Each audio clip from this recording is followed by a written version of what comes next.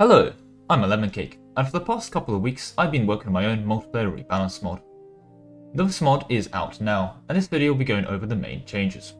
A multiplayer lobby of 20 people, or 25 if we get too many signups, will be held this coming Sunday, or two days from the video release, and I'll be continuing to run my Sunday lobby as I've been for the last four years, from that point onwards. The lobby in question will be running the mod, uh, which I'm about to show you, and if that is something that interests you, feel free to stop by this Sunday at 7pm BST, which is 8pm Central European Time or 2pm American Eastern Time, to watch it live on YouTube. If you're also interested in playing, you're welcome to sign up to the Google Doc linked at the top of the description, where you can also find a link to the Discord server, eh, so you can speak to the people in the game, and also a link to the mod itself. But with the preambles out of the way, let's get into the changes to the mod itself. Loading into the mod itself, we can immediately see some changes made to the terrain. For the most part, Europe is similar. Well, there's been some more strait crossings, but we'll get to that in a minute. But we have removed um, the vast majority of Asia for performance issues and the fact that most players that were in Asia just kind of had free games and had no one else to fight. India and Oirat by extension are basically optional seeds and as is vast parts of Africa, in that you can seed players there if you're thinking of running a lobby here yourself, but if you don't have anyone there, it's not that big of a deal. It's a good place to have any of the reseeds from people that die early. But with that out of the way, let's get into the actual game and just start looking around the map.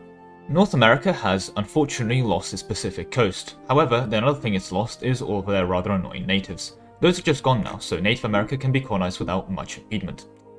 The natives in Mexico still continue to be there for any Portuguese conquering desires, and the natives in South America were never that egregious, so they are allowed to continue their existence, at least until the Europeans arrive.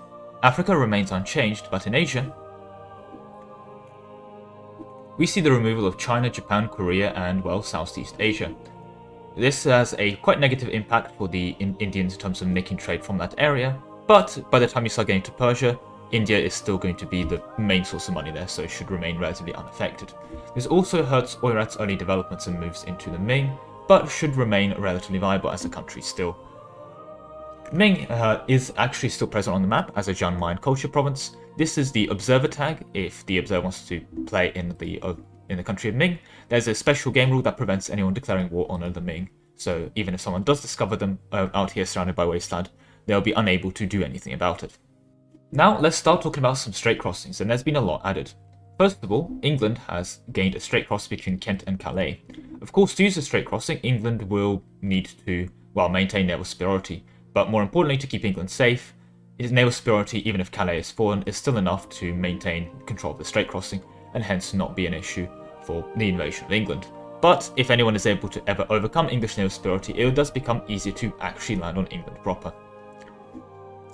England also has a slightly easier time in terms of, well, their Irish possessions, since they're able to immediately walk over there with the strait crossings added between Cumbria, Man and Pale. The strait crossing between the Scottish territory remains.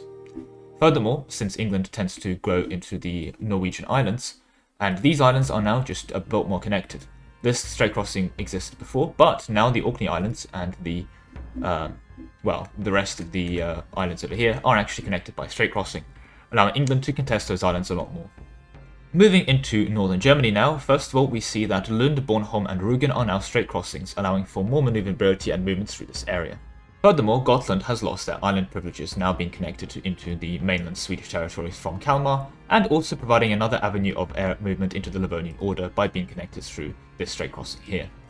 Now to a rather interesting, albeit probably controversial change, we will see that Ceuta has not been returned to Morocco. But this strait crossing is different.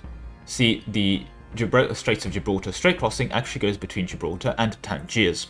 This gives a rather interesting dynamic for the potential Morocco-Portugal-Castile early wars, where the strait crossing is still held by Morocco at the start, therefore Castile still has a much harder time going into Morocco initially off the bat. However, this can be given a greed play by Morocco, uh, sorry, the Portuguese placing their armies initially on Ceuta to try and attack that way before the war starts. But this has a secondary issue. If that army is ever defeated, its retreat point to Ceuta, which leads to very easy stack wipes for the Moroccans, allowing them that if they do win, they win big. Furthermore, it gives Morocco a large heads up. If you see troops starting to be moved into Ceuta, you can see the, you know, the, the times on the wall, allowing you to either declare war on Ceuta early, if you are prepared to do so, And furthermore, you get a very nice war goal to defend against the Portuguese. We'll get to war goals and the changes to those definitions in a bit, but in essence, it gives the Portuguese a double-edged sword, since the Portuguese are probably wanting to hold on to this, but they can also do some diplomacy with Morocco and return it as well day one, if they so wish.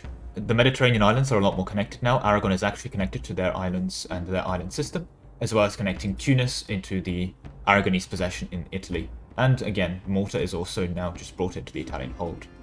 Furthermore, Corsica, as part on top of being also connected to the Western Mediterranean islands, gives another avenue attack into Italy through Pisa.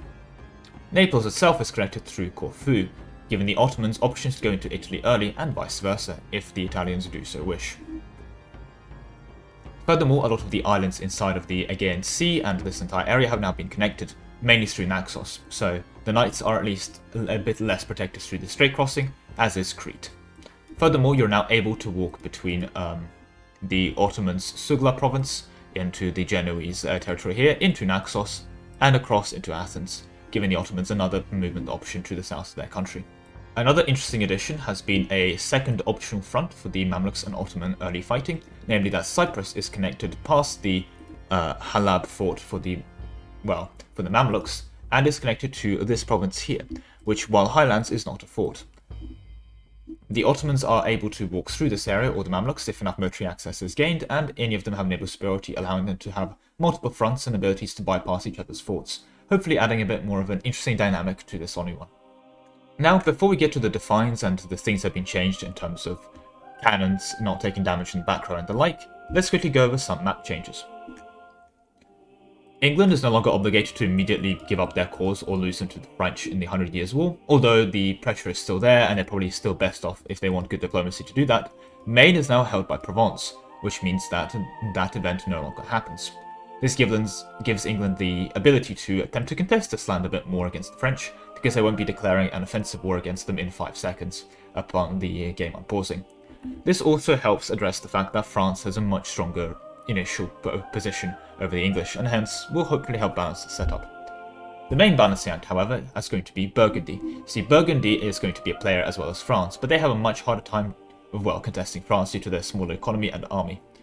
As such, in a rather interesting twist of, of uh, fate, they've been given Provence as a starting vassal who now also owns Maine. This is a double-edged sword, as if France can declare war on Maine on Anjou to get relatively easy war goals to grab early on. However, while they do that, this is going to distract the French army, giving the Burgundians time to move in in the early term. In the early term. So even if the Anjou is not the war goal, it's still going to be a distraction at the minimum. And if the um, Burgundians are able to push through this area and link up with it, they have some interesting counterplay options as well. Furthermore, Lorraine does continue to be a personal union under Provence, meaning that Burgundy actually has a relatively significant amount of the land starting in this area. So we'll see how that dynamic plays off in the uh, player war between France and Burgundy, unless they decide to cooperate for whatever reason. Moving on to Italy, we see that Venice starts inside the Holy Roman Empire, as does the other Italians, namely in this case, well, Naples. This will give them a more equal footing and ability to contest the land in Italy a bit easier without having to worry about the emperorship's involvement. Bologna does of course remain outside of the empire, but that's because I'm not ceding anyone there. On that note, of course, Naples does start independent, as does the Swedish, but not the Norwegian, since they're not a seed, meaning that Sweden still has a relatively non-trivial amount of early game fighting against the Norwegians and Danish, but they do immediately start the game independent. So now let's talk over the defines changes and the base game mechanic changes. First things first, the ticking war can gain has been increased to 40 to get to make the war goals more important, and the rate of ticking has been substantially increased as well. Furthermore, war reparations have been decreased to 5 war score cost instead of 10, but instead of providing you with 10% of the country's income, they now provide you with 5. Additionally, you are able to take a lot more money in peace deals individually, allowing people to fight each other for, well, money and not for land. You're able to now ask for 10 loans or 50 war score worth of money in one battle. Well, one war to be clear. However, at the cost of taking 10 loans from your opponent worth of money, you are also going to be having to get 50 war score. So we'll see how that pans out.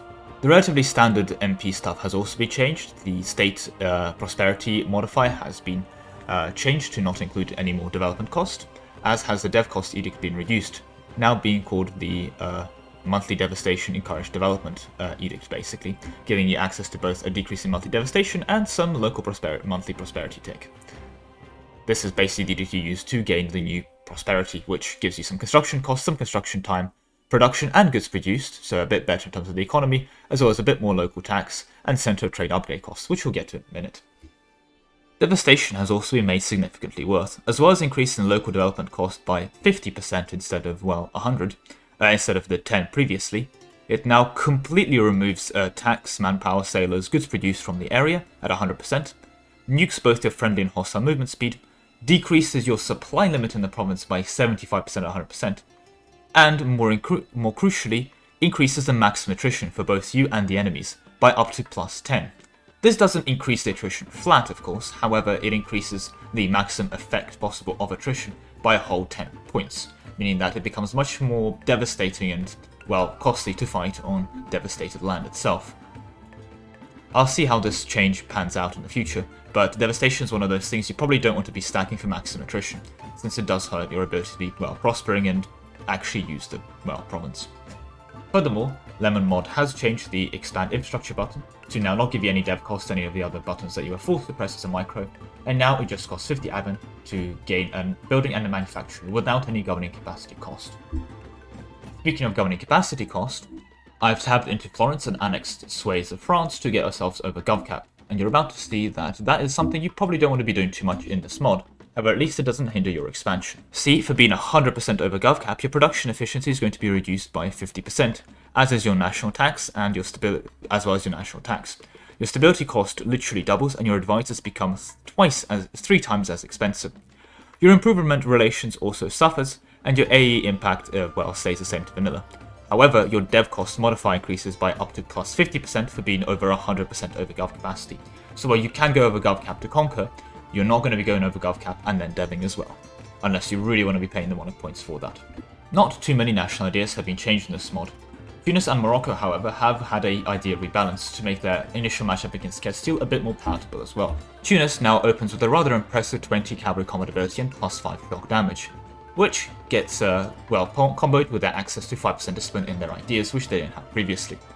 The rest of their idea set actually remains relatively unchanged, with a couple of other modifiers removed, However, their ideas are significantly more viable now, and they're not an automatic to get rid of if you ever do decide to form Andalusia, which has also gained 5 discipline at the cost of 10 goods produced, as well as some other changes which I'll leave uh, for you to discover.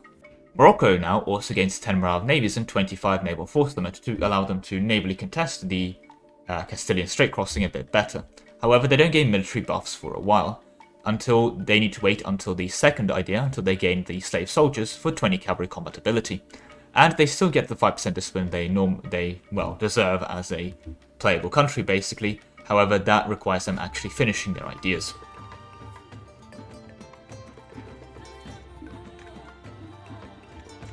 Now, Lemonwood has made a now Lemon Mod has made a significant rework of the normal idea sets. So before we get into those, a quick disclaimer: Cavalry has been changed now, where you can do cavalry builds. However, because of the changes to cavalry and with that in mind, and with the cavalry to infantry ratio becoming an actual resource, I was not happy with the Sunnis having 10% cavalry, cavalry to infantry ratio practically for free. This is the only cavalry to infantry ratio I've actually removed in this mod, but I have changed it to a rather substantial buff as well for the Muslims, allowing the Moroccan and Tunis player to also contest Castile a bit better, and also allowing the Ottomans to be able to not easily win one rounds against Hungary, which is something I've been seeing it recently lose, which is unusual, but you know, uh, a buff to the Ottomans is a, uh, not a very popular decision usually, but I feel like it gives them a little bit of an edge early. And that edge, of course, is the fact that the Sunni starting religion buff is plus 10 cavalry combat ability, which allows it to better compete against the Catholics with their mechanics of early Crusade morale and other early Crusade military buffs. The Zoroastrian religion has also been buffed in case anyone ever wants to actually go for it, but it's not been buffed too much, namely just minus 10 land fire damage received, so it's more of a worthwhile thing to pick up if you can be bothered to go for it. Stability has also been mildly tweaked to now providing 30% global trade power instead of plus 3 for being extra stability. I found 1% global trade power per point of stability being honestly kind of insulting, so there we go. Furthermore, prestige is now much more impactful. I saw that in multiplayer, especially prestige, just kind of became irrelevant.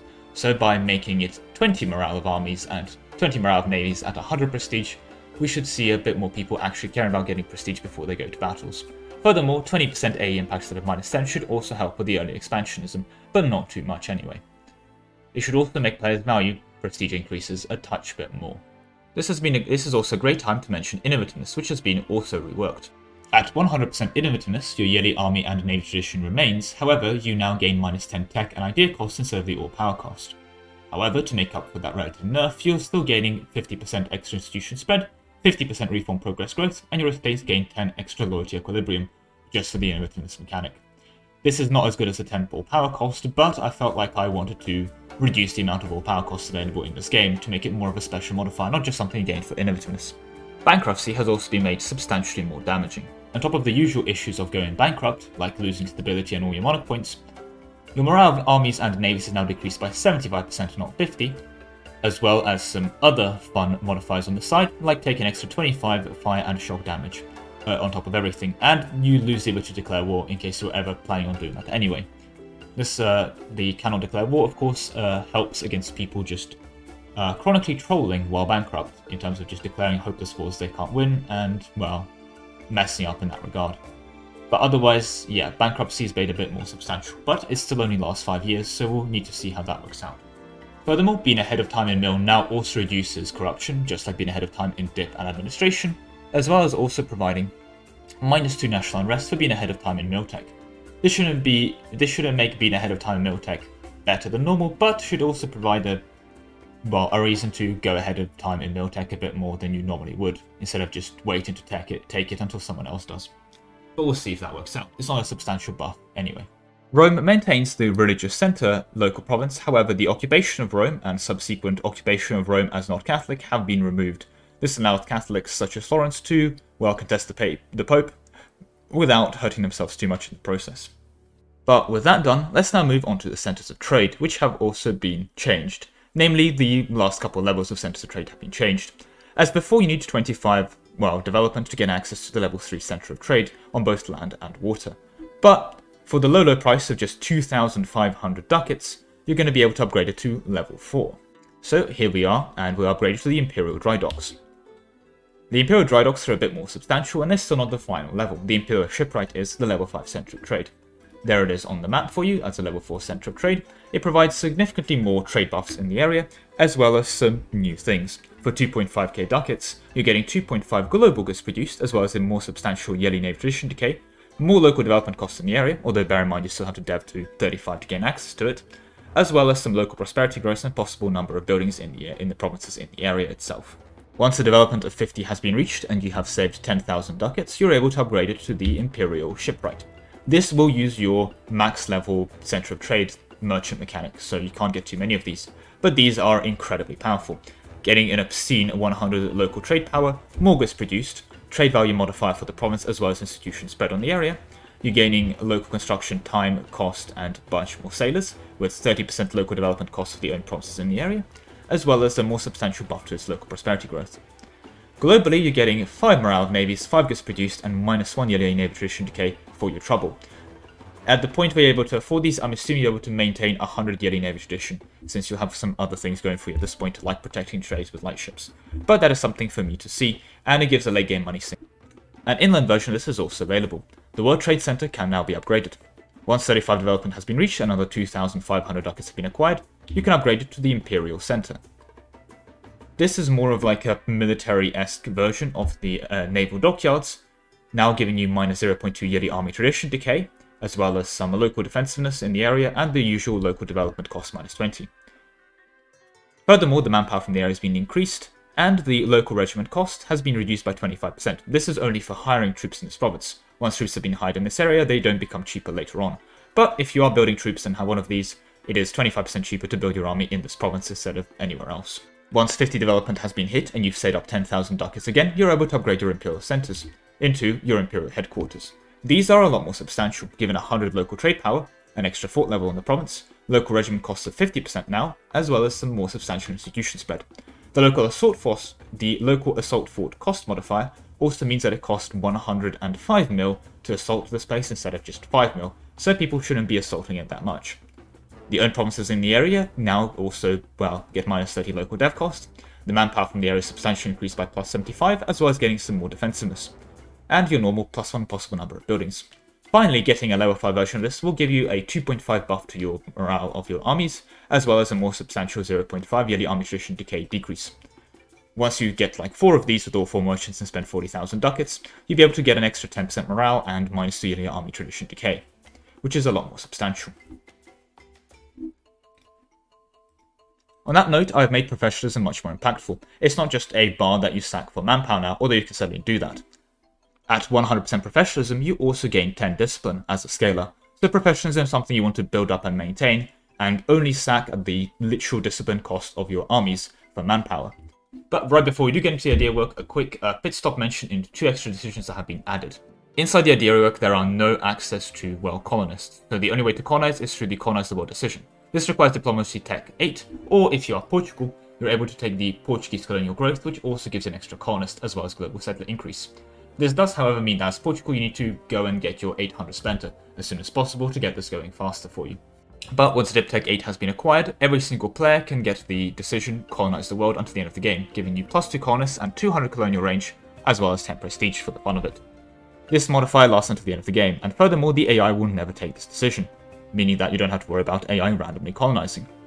Furthermore, I mentioned cavalry to infantry being a resource, and this comes into the decision of the introducing elite cavalry, when you have 50 prestige, you can get the elite cavalry armies until the end of the game. This will increase the cost of your cavalry, but it makes them significantly better, giving you 10% cavalry combat ability as well as uh, 50 cavalry flanking ability.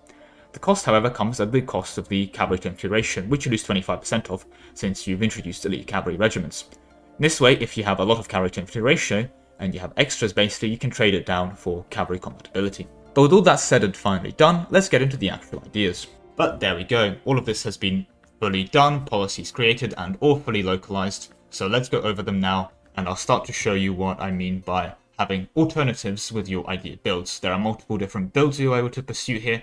Of course, I'll need to see an actual game to see which ones are the best and which ones are worse and which ones need nerfs or buffs. But again, uh, the, the idea here is that multiple different countries can have multiple different idea builds instead of multiplayer just going straight into uh, quality economic every single game. So uh, and actually, another thing that is important to mention, ideas in this mod are 40% ratio, so you have to go 1-1-1 on your opener before you're able to do other things. But let's begin with probably the thing that people care about the most, military. Opening infantry ideas uh, increases your infantry combat ability by an impressive 15%, but of course focusing on your infantry hurts your cavalry and artillery by a further 5% as well. The same can be seen for the other three idea groups already, with the cavalry focus and the artillery focus there, but we'll get to the policy between all three of these military groups, and yes, there are two policies that require three idea groups that we'll get to later, that allow you to counteract that. But in essence, this is also the only idea with negatives attached to it. Your infantry focuses, cavalry focuses, and artillery focuses on your opener. But again, getting back to infantry ideas, 15 infantry combat ability off the opener, minus 10 infantry cost, shock damage received minus 10 and fire damage received minus 10, since infantry is a lot more about holding the line than actually hurting the enemy, such as cavalry or artillery you get some immediate army professionalism ticking, some general cost reduction, and 5% discipline for finishing infantry. The actual finisher is Land Leader Maneuver and Max General Maneuver plus 1, meaning that your generals now have between 1 and 7 maneuver pips instead of 0 and 6.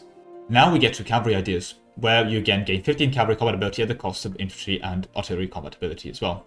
Your cavalry becomes 15% cheaper since cavalry tends to be a lot more expensive, However, you then get your Yeti Army traditions and Yeti Prestige from your Horse Soldier traditions. You deal an extra 15 shock damage with your cavalry in the next idea slot. You gain 50 cavalry uh, uh, flanking ability and cavalry to infantry ratio plus 25% from this policy, as well as dealing 10 more morale damage from your cavalry ideas, finishing off with 5 discipline and a max leader shock and land leader shock of plus 1. Artillery ideas are probably not something you're opening with since it significantly hurts your ability to fight in the early game, but they're probably something you want to be taking second or you're taking it as agreed Spain. Anyway, 15 artillery combat ability here is then followed by minus 10 artillery cost, followed by 33% siege ability and artillery level available versus forts plus 2, allowing you to really siege down all the forts that are going to be about to be buffed by fortification ideas. You also gain 15 land fire damage, as well as artillery barrage cost minus 50 and artillery assault, fort assault cost minus 100, allowing you to barrage at half the price for 25 mil instead of uh, 25 mil instead of 50, and assault for literally free. Finally, Artillery Idea comes with a global attacker dice roll bonus of plus 1. This is entirely useless when you're defending your country, but is quite good when you're attacking, and you do finish with 5 discipline. The finisher, of course, is a land leader fire and Mac General fire of plus 1. Fortification ideas follow suit by trying to basically counter artillery ideas, providing minus 50 fort maintenance and global monthly devastation for, well, allowing you to spam forts everywhere to counter devastation and counter the artillery ass uh, assaults. You gain some monthly war, war exhaustion, cost reducing war exhaustion in your uh, decision to build resolve. You gain some fort defense here in extensive fortification, as well as 33% garrison size and 20 garrison army damage to counter all the assaulting from artillery ideas. Finally, you pick up a global defensive dice roll bonus of plus 1, so that you can roach on your forts a lot better, and as as defensive previously, you gain 15 morale of armies at, at the finisher, as well as uh, attrition for enemies plus 2 and max loss attrition plus 2, for again roaching in your defensive lines. Finally, we get to logistics, which is kind of quantity but better, basically, in terms of its idea group. Uh, we start with land maintenance modifier minus 10 and 20% movement speed from preparing emerging infrastructure. You then get 20% more natural manpower modifier, followed by minus 1 yearly armor decay and plus 2 leaders without upkeep. You then gain 25% of both force limit modifier and natural supply limit modifier in the next idea, followed by 10 natural garrison growth as well as the ability to refill garrisons, independently of your professionalism. Furthermore, you also will be able to constantly regain manpower uh, when disbanding, regardless of your professionalism, as well as gaining 20 manpower recovery speed. Finally finishing off with an extra 15 morale of armies, much like fortification, and losing 33% land attrition. Now, all of these have policies. I'm not going to go through the policies because we will be here forever. But a lot of the policies have been made with nerfing weaker idea sets in mind, and so on and so on, to provide different interesting builds. Logistics, intrigue, and administrative also have a triple policy between them that requires all three. As well as infantry, cavalry, and artillery also have a triple policy between them, which also does require all three.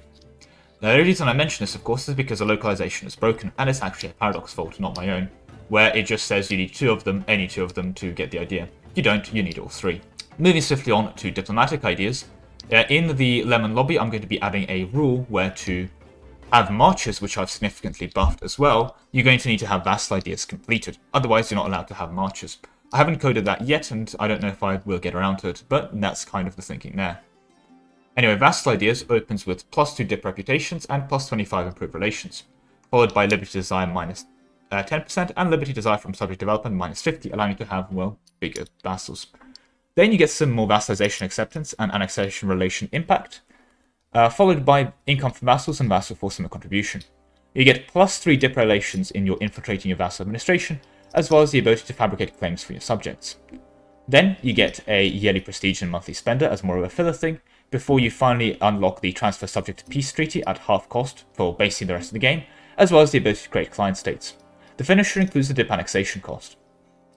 Now we move on to colonial ideas, which instead of buffing your colonization, although it does do that, also increases how much value you can get out of your colonies and how good they are. You have no maintenance on exploring leaders, so that is a general that is a conquistador that is exploring. If he stops exploring, he you just have to start paying maintenance on him again. That is your one mil a month and so on. And furthermore, it allows you to recruit those explorers and conquistadors in question, which again you don't actually get from the colonize the world decision. You are reliant on the knowledge of the colonization spreading to you if you don't go colonial. Then you get another 100 colonial range here just to really help you get places a bit further, followed by 10 global settler chance and 50 global settler increase. Then you get some more global tariffs, which is not great since global tariffs isn't a good way of making money, but treasure fleet income is, so there's another 30% of that. You get a bit of a filler with the colony change type cost modifier, 100%, allowing you to change the type of your colony for, well, free, and you also reduce liberty desire on other contents of, well, your colonies by 25%. Then the relatively good stuff. The colony development boost of plus 2 means that you gain 6 free development on every colony you colonize. Furthermore, your colonies are 50% cheaper to colonize, allowing you to run a lot more colonies even without, well, a colonist. Finally, you gain 25% global trade power, and on the finisher, your natives stop uprising. Now, moving on to maritime ideas. This is kind of the naval but inside of maritime, um, but inside of a bit policy, and furthermore, this idea group is much more focused on using the Navy to buff your military capabilities instead of being a direct replacement for military capabilities. Maritime Ideas opens with minus 25 ship cost, followed by minus 25 shipbuilding time and 50 global ship repair, allowing your ships to be getting into battles a lot faster, but not actually improving their individual quality. You then gain 20% more national sailors, followed by 25% cheaper admirals. Finally, you start getting 20 Marine Force Limit, allowing you to use those minus 10 shock damage Marines a bit more substantially, as well as losing the combat penalty when landing of minus 1, meaning that, you know, you, you can land people at minus 2 now instead of, uh, at minus 1 now instead of minus 2. You also don't get attrition when you're loaded on ships, and you disembark from them 50% faster by improving your transports. And finally, you get some naval pride because of the greatness of your navy. Your morale of navies is increased by 10, but also your morale of armies is also up by 5. Not really worth taking the entire idea set for just 5 morale, but it is there as a little side effect for anyone taking maritime. The finisher also decreases your navy tradition decay by a whole minus 2. Now we get into manufacturing ideas, which is kind of the trade and goods produced inside of an idea set. Manufacturing ideas opens with trade company investment cost of minus 50% and a substantial 33% decrease in the center of trade upgrade cost. Stacking that with prosperity, you're now looking at minus 48% center of trade upgrade cost, which is a lot of money that you're saving if you're looking at those level 5 centers of trade. We then follow up with naval force increases and trade steering buffs from building trade fleets, some merchant trade power cost promote mercantilism from investing in trade protectionism, 15 production efficiency since this is manufacturing ideas, followed by a minus 10 decrease in the minimum autonomy in territories to help you get more value out of your trade companies, 10 flat goods produced everywhere, and 20 trade efficiency, since this is basically the trade efficiency idea set and there's not much else trade efficiency, well, in these ideas. The finisher gives you a flat 0.2 goods produced, or 1 free production development on every single one of your provinces, which is not as egregious as the plus 2 goods produced in custom nations, but is certainly a non-trivial economic buff. Then we move on to intrigue ideas, which is basically diplomatic and espionage morphed into one and tried to be useful. You open with two diplomats and envoy travel time because of your espionage core. You gain the ability to claim entire states, gain you can also claim bordering claims uh, forever, and your cost to fabricate claims are also reduced by 50%. Furthermore, you're able to crush any internal spies and dissidents, decreasing foreign spy increasing your foreign spy detection to be cleared by 25%, and making all your states incredibly more loyal since you've well crushed all the dissidents. You then pick up always valid excuses because our actions are sometimes not palatable to our neighbours, and if you have an excuse ready, it's fine. If someone catches you spying, you don't get a diplomatic impact hit from that, so it's more of a placeholder, but you also get lowered impact on stability from diplomatic actions. Furthermore here, you get minus 25% aggressive expansion impact and minus 20 province war score cost in your ability to negotiate for natural borders. You then get one more filler in your change rival cost being reduced to basically free and gaining more power projection from insults, before finally getting minus 5 all power costs for your constant scheming. This of course is also concluded with a possible and free policy that you pick up from getting intrigue ideas completed, so it's more of a relatively useless placeholder until the final two, which also have good policies. But now let's move on to the admin, where we start with scientific ideas. You open with minus 1 prestige decay and 0.5 flat yearly innovativeness to allow you to get it up earlier, as well as 50% innovatives gain in your next, well, idea. You then get minus 2 unrest from public schools and it's a bit more of a filler, before picking up your expanding your ruler, well, education. In democracies, well, sorry to be clear, republics, you gain a random candidate skill bonus of plus 1, but for monarchies, they get a monarch military skill of plus 1 as well. This is further exemplified by your institution bracement cost being reduced by 33% and you gaining plus 2 monthly splendor. Then you get minus 10% tech cost for your cult of rationalism, cult of ration rationalism. Then your cult of rationalism gives you minus 10 tech cost, followed by a monthly mill power point from finishing scientific ideas that you pick up from this idea set. Don't worry, an admin and dip point is available in other admin ideas as well. The finisher also provides you with minus 10 idea cost, meaning this is a great pickup early from the innovativeness gain that you pick up from it, and basically being the innovative ideas of old, but reworked and made significantly better, for them to compete with every other idea so far shown. Then we move on to development ideas, one of the few sources of dev cost in this mod. You open with 10% construction cost, followed by minus 25 construction time, followed by great projects being 25% cheaper to upgrade. These are mostly filler. Then you get a global possible number of buildings plus 1. This is free and it does seem good, but bear in mind in Lemon Mod, you're able to increase, get an extra building style anywhere you specifically want for 50 admin. So in essence, this is just kind of saving you 50 admin or a click on this expand infrastructure. Since this button is literally free to press, it doesn't increase your GovCap cost at all. Getting back to the ideas, you finally get your 10% dev cost, 5 ideas into development, which is then followed by another dev cost and primary culture decrease of minus 10, allowing development ideas to compete with the other ideas I've shown so far, but meaning that you need to culture convert to primary culture or focus on those provinces to get the full minus 20. For now, you're only getting minus 10. The finisher is a possible number of manufactories, completing the duo here for a free plus 1 expansion. And the ultimate finisher on development is an autonomy change cooldown reduction of 25%, allowing you to decrease autonomy faster. Now, GovCap is another substantial issue towards your, uh, well, administration, administration of your realm, and this is where administrative ideas come in. You open with 200 governing capacity, followed by monthly autonomy change to, well, administer your land better. You gain some reform progress growth and monthly reform progress if flat to help you press the button for monthly reform progress growth being converted into your, well, governing capacity. You then get some states governing cost as well, which should significantly decrease the amount of governing capacity you're actually using. You then gain a bit of stability cost modifier minus 20 and another 10 all states below equilibrium, not as good as the spine ones, but you know, it's there. Followed by plus 2 max promoted cultures and 25 religious unity, which should help that if you're struggling with GovCap, you're probably struggling with religious turmoil and humanism. If you notice, there is no humanist or religious ideas, so this is pretty much the closest to managing that. Furthermore, finishing administrative will give you access to a monthly admin point as well, as 20 as well as 25% governing capacity. Then we get to court ideas, court advisor ideas to be clear, and this is more of the advisor idea set. You open with 20 average monarch lifespan, which is mostly great for republics, but still isn't bad for your monarchies, followed by three possible advisors, as well as female advisor chance. The reason for this is more of a LARP reason. You know, you've realized that you can hire not just the men, but the women too which will literally double your candidate pool for your advisors. Now you get onto the actual things you probably want here.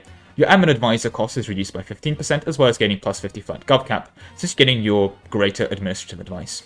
You get better military advice, also decreasing your general cost by 15, and you get 15% cheaper mill advisors. And no surprises guessing there, you get a monthly dip point here for expanding your diplomatic advice, as well as minus 15 diplomatic advisor cost, giving you 15% flat across the board for taking all three. You then pick up an impressive 0.5, not 0.3 Euro Republican tradition, as well as plus 1 devotion, legitimacy, or horde unity for anyone else taking advisor ideas, followed by a non-trivial all-estate influence modifier of minus 10, and allowing you to revoke estate privileges regardless of loyalty and influence. The finisher is another minus 25 advisor cost, meaning taking advisor ideas decreases your advisor cost by 40% on its own, regardless of other national bonuses that you want to pick up. Finally, we get to financial ideas, which is kind of manufacturing ideas, but early game, it provides early game boosts to your economy, but it kind of tails off in the late game. It opens with minus 2 unrest and plus 0.5 global prosperity growth from you supporting local communities. Then you get some interest per annum reduction, and there's another policy with uh, finance and fortification for another 0.5 uh, interest per annum reduction, allowing you to get minus 1 from your build, as it were. You're then able to pick up a monthly gold depletion chance modifier of 100% by securing sustainable mining practices, as well as your monthly gold inflation being decreased by 25%. So if you are going to be relying on gold mines, financial ideas might be an idea to pick up. You also get some yearly inflation reduction decreases as well as your reduced inflation cost as well, which is useful for any country. 10% construction cost is also available in this idea set to, well, help you get your early temples and so on going for scaling your economy. You pick up minus 0.05 monthly war exhaustion impact, and furthermore, the impact of your overextension is halved, allowing you to mitigate, well, the impacts of your constant wars. Finally, you pick up 5% trade efficiency and a very impressive 50 domestic trade power, which is pretty useless outside of your domestic territory, but it helps you control your domestic trade. The finisher includes 20% national tax to get you get that to help you get the money going early. The policies can be explored inside of the mod download available in the link below, but again, I'm not going to go over them here. The video is probably long enough as it is. But for the most part, that concludes Lemon Mod. There's probably a couple other things I've tweaked, uh, a lot of main things I've gone over and made it more balanced, at least in my understanding. So we'll see how Arak absolutely destroys this lobby on Sunday. But that has been it. This has been the project that I've been working on for the first for the past couple of weeks. We'll be back to modifier stacking sooner rather than later. So as with that all said, thank you very much for watching, and I'll see you in the next one. Bye!